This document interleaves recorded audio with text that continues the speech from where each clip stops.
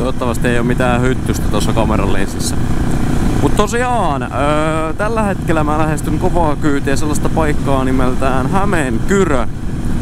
Tosiaan, tästä pitäisi olla varmaan keskustaan joitakin kilometrejä tai satoja metrejä korkeintaan. Eli ajattelin lähteä vähän ajelemaan ja määränpäänä tänään Hämeen Kyrö. Mä 46 kilsaa tullut tuosta Tampereelta.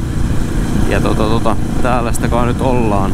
Tota vähän maakuntamatkailua taas. En oo Hämeenkyrössä itse asiassa ikinä käynyt. Mä en oo varma, että mä tästä varmaan joskus on mennyt autolla ohitte, mutta täällä mä en oo sillä niinku, niinku, en, siis käytännössä en muista tästä paikasta yhtään mitään.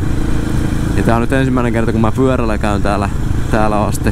Ei ole tälle suunnalle vaan oikein ollut mitään menoja, menoja eikä ole tullut sille ajeltua huvikseenkaan, vaikka eihän tää nyt kaukana ole. Eli tää on sama kuin siinä Valkeakoske esittelyvideolla oli, että tota, lähellä, mutta kaukana. Eli Tampereet alle 50 kilsaa, mutta jotenkin ei silti tule ikinä, ikinä pyöritettyä täällä päin. Sitä kääntyä tuosta Hämeenkyrön keskustaan. Se taitaa olla tuossa oikealla puolella. Käydään vilkaisen mitä siellä on. Rauhallista täällä ainakin on, jos ei muuta.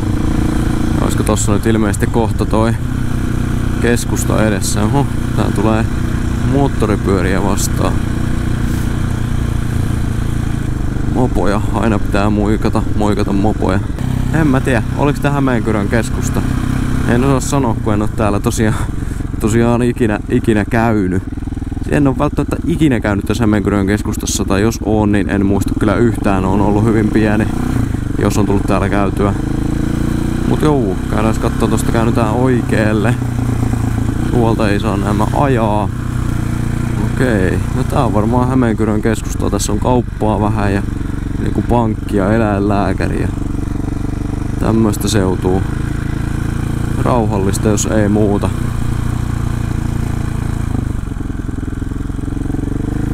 Vai se pitää käydä vielä tsekkaan toi, toi, toi toinen puoli täältä. Täällä on terveyskeskus ja kunnantalo jossain.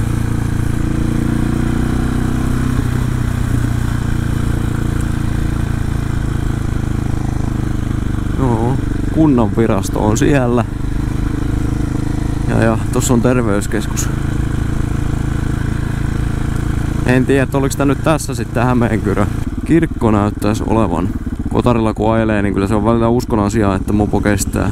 Lyhyt ja ytimekäs seikkailu tänne tota Hämeenkyröön. Mä en tiedä, että ei tää nyt varmaan kovin iso paikka näin niin kuin muuten on, mutta oli kyllä tosi hieno toi iso tie ajella tänne, että täällä on niin kuin oikein mukavaa tämmöistä vähän ylämäki, alamäki, ylämäki, alamäki, semmoista mukavaa vaihtelua ainakin. Ja kotarivörkkiä lämmintä on, ei kai siitä. Jotkut halusivat, että mä tekisin semmosia 10 minsan videoita näistä esittelyvideoista, mutta totuus on se, että kun ei näistä paikoista juuri speksei tiedä, niin on se vähän, että, että tota, alkaa sinne sitten kertoa pitkää tarinaa, niin mä ajattelin, että pidetään nämä videot lyhynä ja ytimekkäinä. Eli tää oli lyhykäisyydessä Hämeenkyrö. Hämeenkyrön keskustaan kiesi. Oli kyllä muuten tällä kertaa aika lyhyt video, mutta ei kai siinä, palataan asiaan.